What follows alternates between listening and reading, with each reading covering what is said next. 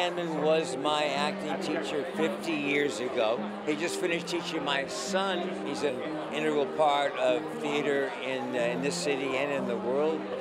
First nonprofit company, so he's an icon. Wynn was my acting teacher for more than 10 years. He changed my life and changed a lot of people's lives, and he changed American theater. The actors who have come through his studio and worked at his theater, the people that now shape our theatrical and Hollywood landscape. It's remarkable. I don't think Wynn could have done what he did anywhere else. You know, New York allowed him to have the diversity of actors, this different storytelling, uh, all that stuff that he was able to cultivate, and I think we owe a lot to him. This city owes a lot to him. I was lucky enough to be steered to his classes when I was about 22 years old. I learned a great deal from Wynn. He was the only kind acting teacher I ever knew.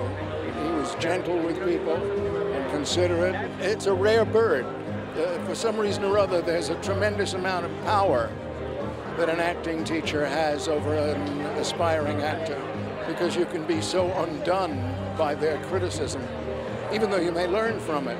He taught more than just acting, so I was very blessed to be with him.